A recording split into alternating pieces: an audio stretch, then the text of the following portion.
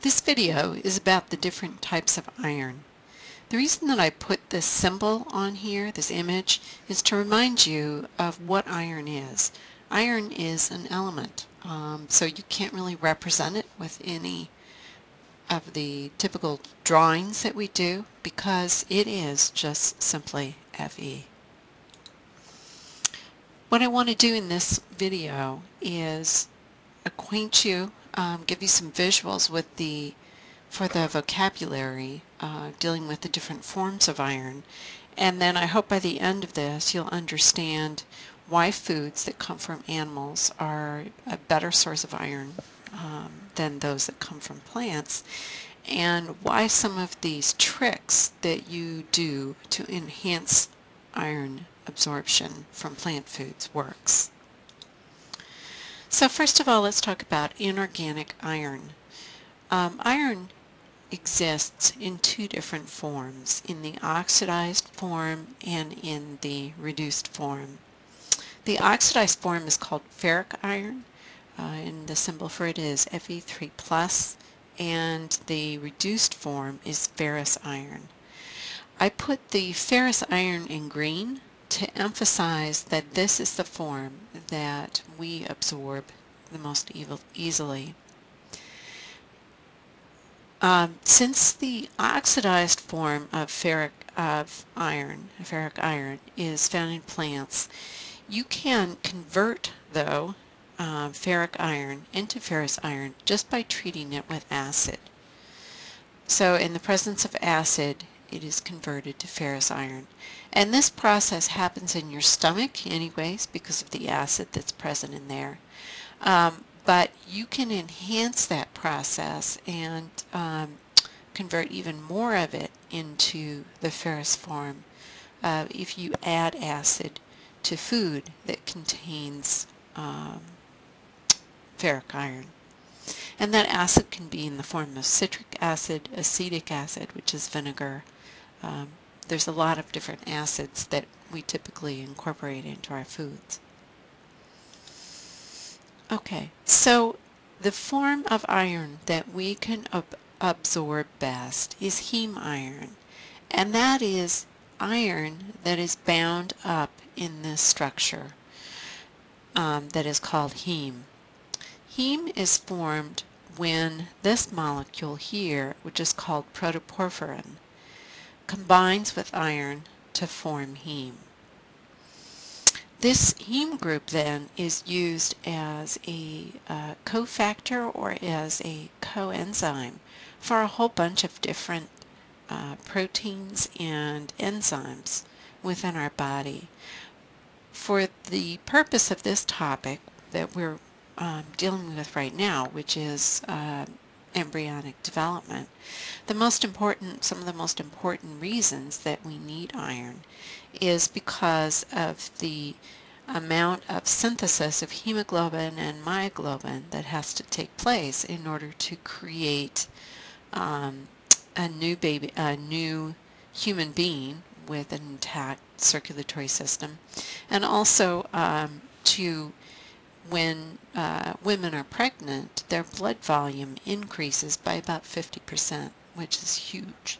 And all of the extra um, red blood cells that are going to um, be part of that increased blood volume have to come from somewhere. So all of this heme has to be synthesized de novo, which requires a lot of iron. Now, um, while vitamin B6 supplements are not really um, part of the recommendations for women who are pregnant because we already get plenty of it in our diets, uh, vitamin B6 also plays a role here in this whole process because vitamin B6 is needed to synthesize this particular ring, which then goes on to form heme. All right, so the reason that um, iron that comes from plant sources is absorbed less efficiently has to do with the carriers, the transport proteins that our intestines have. So um, there are two different transport proteins that can bring iron into the intestine, intestinal cells, and then from there, of course, they get passed on to the bloodstream. And that is the heme carrier protein 1 and this carrier, which is called DMT1. DMT1 stands for divalent metal transporter 1 and it is a transport protein that will bring across the membranes any of a number of divalent metals, namely, um, so in addition to iron, it will also bring in uh, copper and um, cadmium, which we, we don't want. Cadmium's bad. So um, this transporter here um, can get the iron will get outcompeted um, by the other divalent metals in the diet. And so that's one reason why um, iron that comes in in the inorganic form is absorbed less efficiently is because of the competition.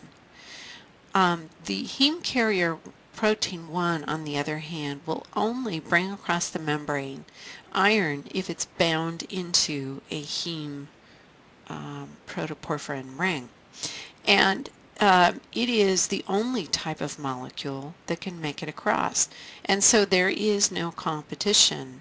Um, this is just a freeway for iron only that comes through here.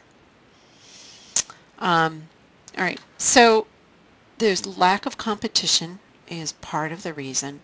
The other reason is that when iron comes in in inorganic form from plant foods, unless you do this acid trick to try and get it converted early, it has to go an additional step to be converted from the 3 plus form to the 2 plus form.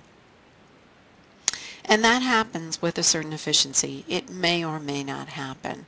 This is the only form that can pass through the membrane.